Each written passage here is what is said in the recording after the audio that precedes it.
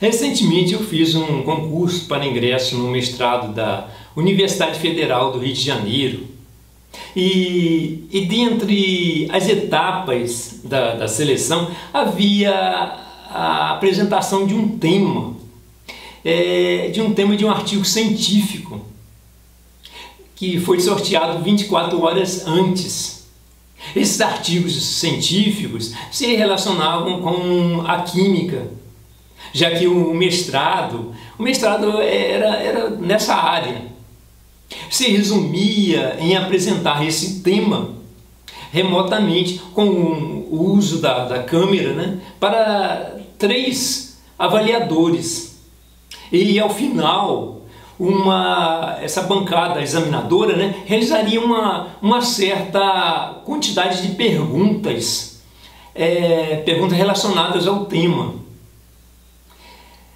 Enfim, é, me preparei bastante e ao final da apresentação, acreditei, é, vou ser bombardeado de, de uma quantidade grande de perguntas sobre esse tema. Porém, não foi isso que aconteceu. as três pessoas, as três pessoas lá da bancada, né, elas pareciam desconhecer o tema. E a impressão que eu tive Pareciam três cegos em um tiroteio. Mas enfim, participei, embora fui eliminado, mas é, não para não ficar todo, todo esse trabalho em vão, então eu, eu, decidi fazer, fazer esse vídeo. Eu vou fazer um vídeo aqui com, com esse tema. Eu vou, vou apresentar a vocês, mas vou apresentar da maneira, maneira que da mesma maneira que eu apresentei com os slides, né? porém de um modo mais devagar, mais explicativo, né? porque lá, lá havia um tempo, né? um tempo cronometrado. É, no dia do sorteio, a, a, escolha foi de um, de um site eletrônico né? e, e o, o meu artigo científico foi a teoria da atividade. Claro que fui muito mais além daquele artigo científico. Eu li bastante né, sobre o assunto para montar a apresentação né? e, e afirmo, afirmo a vocês, é um tema muito fascinante. Eu, sinceramente, adorei. Gostei muito mesmo do tema. E se vocês verem até o final, você, e, e se vocês também entenderem, né?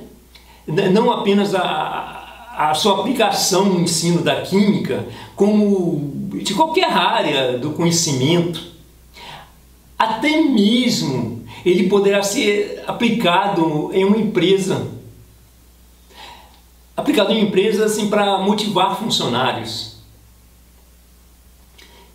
Vamos ver a apresentação. É uma apresentação feita baseada no artigo científico de Lucas e do hélio. A teoria da atividade foi desenvolvida por um psicólogo russo chamado Leontev. Ele foi professor da Universidade de Moscou, ele foi, ele foi da época da antiga União Soviética. Ele foi um importante é, nome dentro da, da psicologia histórico-cultural. Teve diversos trabalhos, é, mas a sua grande contribuição mesmo foi a teoria da atividade. A sua teoria, a teoria da atividade, como, como o próprio nome define, possui a ideia central de atividade para, para entender como os, os indivíduos se desenvolvem. Segundo ele, todos os seres só realizam determinada atividade se houver um objeto e uma necessidade, sendo a necessidade a razão para o atendimento do que motiva os indivíduos a realizarem algo. Sua teoria foi a base de muitas pesquisas na Rússia, principalmente na área de brincadeiras e da aprendizagem. Agora, um melhor entendimento do que é realmente vem a ser a teoria da atividade. Temos aqui um exemplo primitivo. Sabemos que uma das, uma das necessidades básicas do homem é a alimentação. Imagine então um homem primitivo e esse indivíduo tenha fome. Com isso, ele precisará buscar um alimento para saciar essa fome. Esse indivíduo, ao ver uma presa, essa presa então será o objeto que irá se relacionar com a sua necessidade, criando assim um motivo.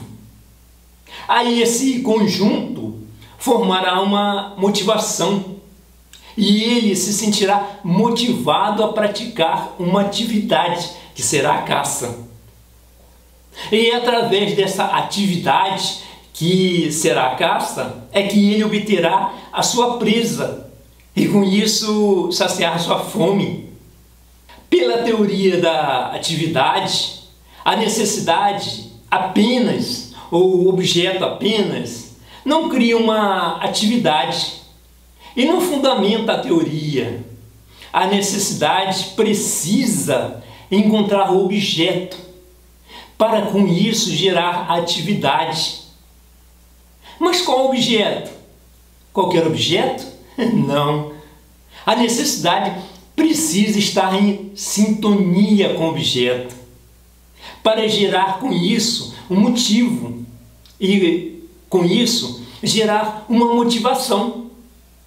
Por exemplo, se aquele homem primitivo do, do exemplo anterior encontrasse uma lagoa essa lagoa hum, não será objeto de sua necessidade. Sua necessidade é a fome. Isso não levará ele a uma motivação. Em resumo, a necessidade em sintonia com o objeto gera um motivo, levando com isso a motivação.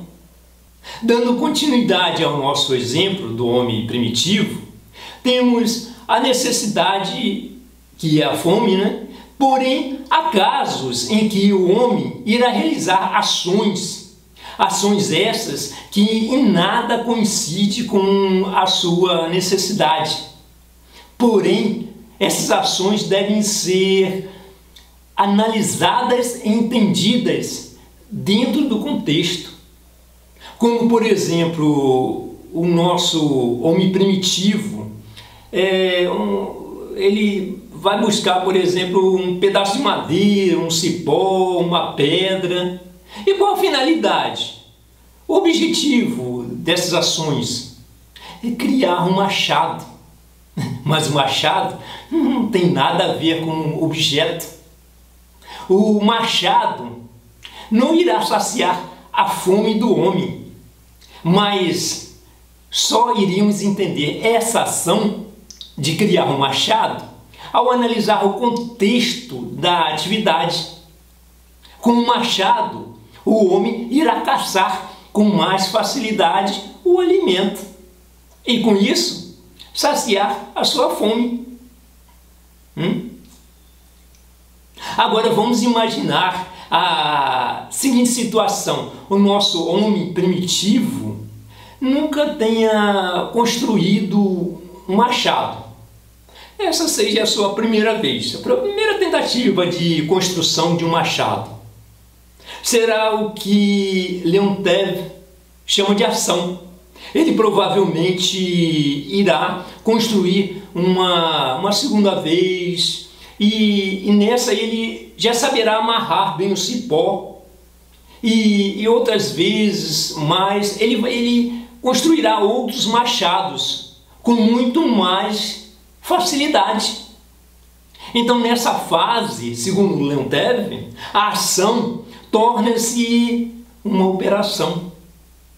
Isso quando as ações ficam mais inconscientes. Ou seja, quando ele aprendeu a fazer o machado, já aprendeu como dar o nó, ele já internalizou para que serve o nó, como deve ser feito e qual a melhor maneira de fazê-lo. E ao passar de uma ação para uma operação, ele também passa do plano do consciente para o inconsciente. Isso faz com que ele se ocupe de ações mais complexas, de ações eh, mais complexas posteriores. Pode o indivíduo retornar conscientemente àquela operação.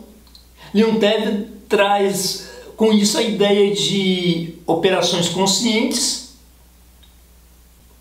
Mas vem cá, falei tudo isso mas o que essa teoria da atividade tem a ver com o ensino, especificamente com o ensino de química? Vamos agora partir para um exemplo de um professor de química. Vamos colocar que esse professor de química entenda que a necessidade dessa disciplina, no caso a química, seja eh, para que os alunos adquiram conhecimento científico. Então ele vai criar estratégias para satisfazer essa necessidade. Uma delas é o planejamento de conteúdos. Nesse planejamento de conteúdos, vamos supor que tenha escolhido reação química. Reação química é um dos conceitos essenciais. O objetivo da aula em si não coincide com a necessidade anterior. A necessidade não é o conhecimento científico, mas esse objetivo da aula só poderá ser entendido no contexto geral da atividade de ensino. Nesse caso, temos que a aula de reação química é uma ação que faz parte da atividade maior. Esse ponto é muito importante para não se confundir uma única aula como sendo uma atividade.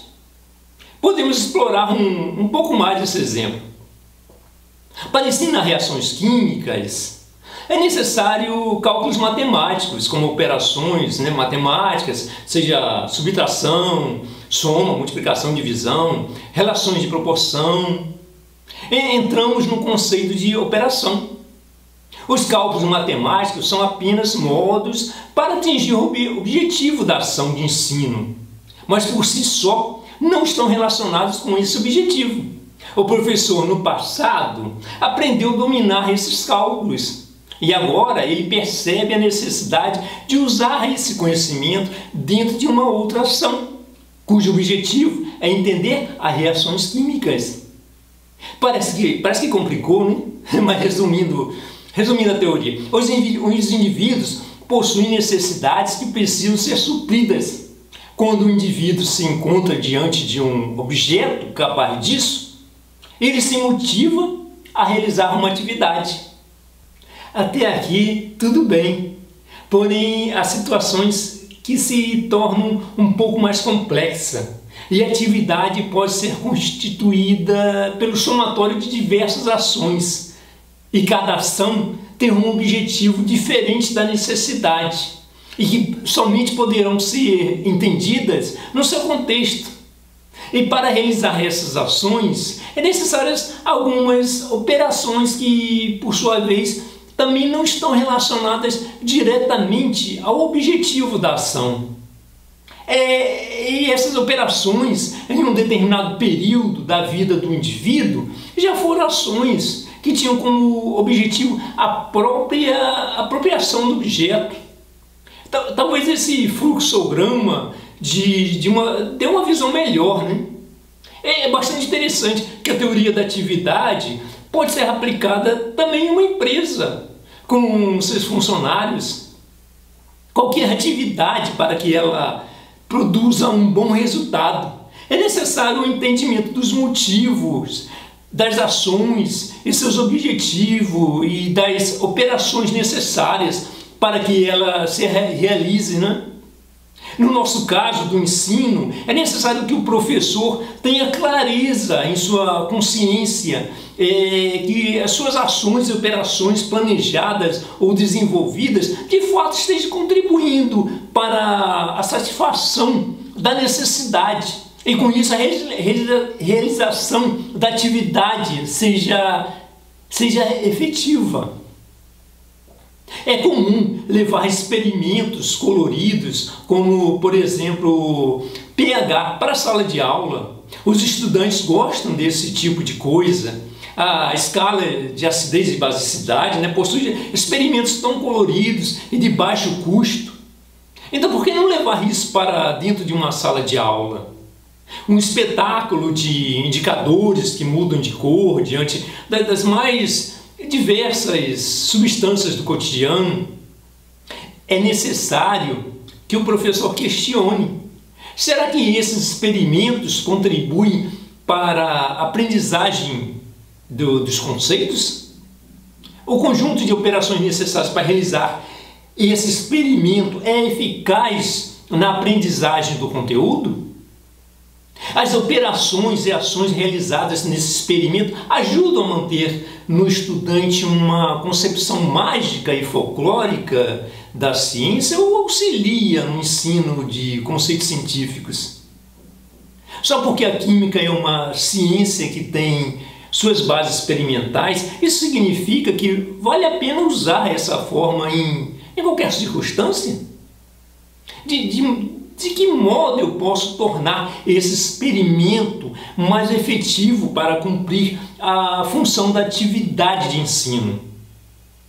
E, de acordo com o Sá de e Neto, né, para nós, experimentos como esse, do modo como são apresentados, contribuem muito mais para a peculiarização do conhecimento químico do que efetivamente com a aprendizagem dos conceitos, visto que o conteúdo fica secundário na ação, diante do espetáculo da mudança de coloração. Para ver a haver ações efetivas dentro da atividade, é necessário que o professor entenda como o aluno aprende, o sujeito que se quer formar, como se apropria do conhecimento.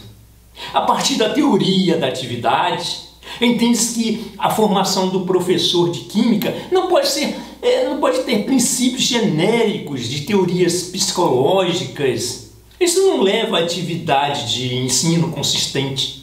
É necessário entender que a psicologia existe em é, diferentes seres humanos. Logo, tem que haver diferentes processos de ensino o que ocorre muitas das vezes né, com professores licenciados é a mistura de, de Piaget e outros mais, sem ter a clareza de suas teorias e suas diferenças. Vamos, através desse slide, consolidar o que vem a ser operação e o que vem a ser ação. Temos aqui um exemplo de uma aula de estequiometria. Para uma aula de estequiometria tem que ser usado muito a regra de três. Agora, uma coisa que é fundamental e que o professor perceba a diferença entre aquilo que para ele já está operacionalizado, mas que para o estudante aquilo ainda se encontra no campo da ação. Entenda bem, a ação e a operação são processos cognitivos o professor tem que ficar sempre atento ao detalhe de que para ele certos elementos são triviais e já se encontram incorporados, porém não para o estudante que é ali que ele pode estar a dificuldade para o entendimento do conceito. A regra de três para o professor é uma operação, mas pode ser que para o estudante seja uma ação. E nesse caso, Nesse caso, a consciência do estudante ficará ocupada com aquilo que ainda não foi operacionalizado, que é a regra de três. E isso dificulta a aprendizagem do conceito. O professor, por sua vez, poderá ou reclamar da falta de pré-requisitos, mais fácil para ele, né? ou se for um bom profissional desenvolver ações para ajudar a operacionalizar aquilo que o estudante ainda não conseguiu. Em um segundo exemplo, temos aqui a tabela periódica. Temos, por exemplo, o elemento oxigênio, que na visão do professor, que já tem operacionalizado, ele é gasoso a temperatura ambiente, possui seis elétrons no último nível, e, e ele sabe diferenciar o oxigênio elemento do oxigênio molécula. Já na visão do aluno, requer tempo, pois ele ainda está no processo de ação. Ele necessita de evidências entre os níveis de aprendizagem, saber diferenciar o oxigênio elemento do oxigênio gasoso molecular. E é exatamente nesse ponto crucial é que podemos compreender que aquilo que o professor tem operacionalizado é o, é o que o aluno vai operacionalizar.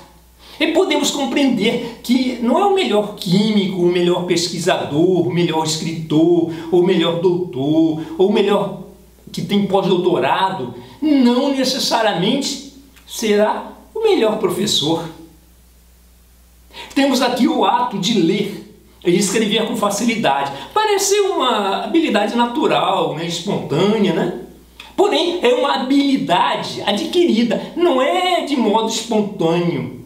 Assim como uma bailarina que requer treinos diários, intensos, exaustivos, uma dedicação, um estudo sistemático dos passos, convivência com diferentes expressões musicais e diferentes modalidades de danças, para com isso alcançar o seu objetivo né, de ser uma excelente bailarina. Como professor, ocorre a mesma coisa. Nesse estágio, assim como a bailarina, o professor pode improvisar a partir dos imprevistos, lidar com as singularidades de cada aluno, de cada situação pedagógica. É importante que o professor se pergunte, se pergunte por que, por que precisamos ensinar química? E, e é também necessário que o aluno também questione por que precisamos aprender química. Temos diversos trabalhos de pesquisa envolvendo metodologias, estratégias, né, para se levar à motivação dos alunos. Mas temos um questionamento a fazer aí. Será que apenas os alunos precisam ser motivados na sala de aula? Bom, resumindo, até agora vimos que os motivos se relacionam com o encontro de um objeto diante das necessidades que são colocadas para o indivíduo. Vimos também que, aplicado ao ensino, a necessidade do professor nesse entendimento é que o professor tenha a consciência do que faz no campo educativo, ter consciência das operações. Porque o que para ele é uma operação, para o estudante pode ser uma ação. Que a atividade de estudo dos alunos não surge de forma biológica, que ela está relacionada com diversos aspectos das condições sociais nas quais ele está inserido. Vocês já observaram que uma criança inicia em uma escola com uma necessidade de agradar o adulto. Ao longo do tempo, essa necessidade se transforma e os motivos mudam. É isso que é um papel importante do professor, entender e trabalhar para que os alunos transformem, transformem esses motivos. O professor precisa entender por que ensinar. Por que ensinar dessa forma e não daquela? Para que com isso ele gere novas necessidades e com isso gere novos motivos. Para Leontev, ele dividiu os motivos em motivos compreensíveis e motivos eficazes. Nos compreensíveis, o indivíduo possui conhecimentos dele, mas isso não o levará a desenvolver atividade. No nosso exemplo aqui né, da química, o estudante pode estar ciente da necessidade de conhecer essa matéria, mas apenas isso pode não fazer com que ele estude essa matéria. Entenda, a atividade não está ocorrendo a partir dessas necessidades. E, e caso surja uma, um outro motivo que substitua esse, o que era para ser uma atividade vai se tornar uma ação. Vamos colocar aqui um exemplo em que alunos precisam estudar um conteúdo que seja ligações químicas. e que o objetivo específico seja conseguir notas. Então, o que deveria de ser uma atividade se torna uma ação. Ele poderá estudar apenas para obter a nota, ou poderá também colar. Às vezes, as duas ações em conjunto, né? Não pense que isso é uma exclusividade de alunos secundaristas, não. Isso é o que acontece nas universidades, né? nas até as melhores universidades do país. Né? E é importante ressaltar que tanto em uma ação como em outra, o estudante não aprende nada, mesmo que ele tenha apenas estudado e não colado, porque ele estudou apenas para obter a nota. Foi apenas, foi apenas uma ação, uma experiência muito comum. É o estudante formado dizer: é, eu, eu não me lembro mais disso. Você tenta lembrá-lo com algumas palavras-chave, né? Eu, eu mesmo, é, com o livro, eu mesmo ainda assim insiste que não, lembra mais daquilo e culpa o tempo, né? É curioso, né? É como andar de bicicleta. Algum momento é, da vida, né? Alguém é, tentou andar de bicicleta, com certeza é, algum adulto é, ajudou e aquilo ali ficou operacionalizado. Se ele precisar é, andar novamente de bicicleta, ele tem aquilo em mente operacionalizado.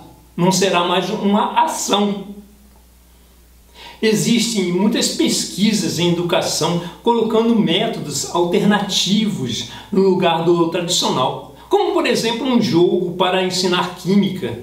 Mas para o professor aplicar esse método, é necessário que ele se questione da clareza e necessidade e motivos e, por sua vez, a motivação do aluno. Será que a sua atividade está sendo o estudo ou será que a sua motivação está apenas em superar o colega numa competição?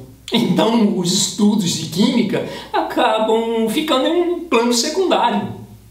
Para Leontev, necessidade depende das condições objetivas que estão colocadas para o indivíduo realizar a atividade.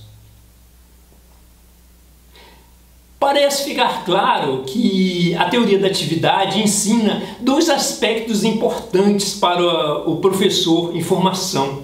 Se um professor entrar em uma sala de aula achando que vai encontrar alunos motivados, alunos ideais, alunos interessados em modelos quânticos, né, ligações químicas, etc, tal, ele vai ter uma grande frustração.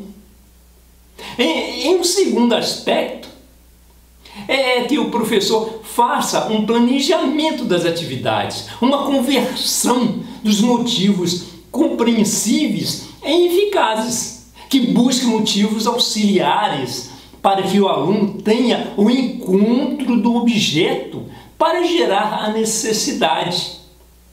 O professor também necessita de um objeto que eu que, que coloquei, que coloquei aqui como, como exemplo um experimento, uma necessidade que é um laboratório. É importante ressaltar que, que, que esse processo não é linear, né? E não demora uma ou duas aulas. Ele é preciso, ele, ele é um processo contínuo, dinâmico. Exige atenção pedagógica constante. Ele depende de condições objetivas da realidade que o cerca também, né? Para finalizar, é necessário para um ensino realmente eficaz que tenhamos alunos motivados, seja por metodologias alternativas, mas que tenhamos também professores motivados. Bom, espero que tenham gostado da apresentação. E é claro que a teoria da atividade vai muito mais além do que, do que isso aí. É, e caso alguém conheça e tenha alguma, alguma coisa a acrescentar, pode, pode colocar cá embaixo, né? Pode ficar à vontade, afinal, ninguém sabe tudo nessa vida, somos, somos sim eternos aprendizes, né?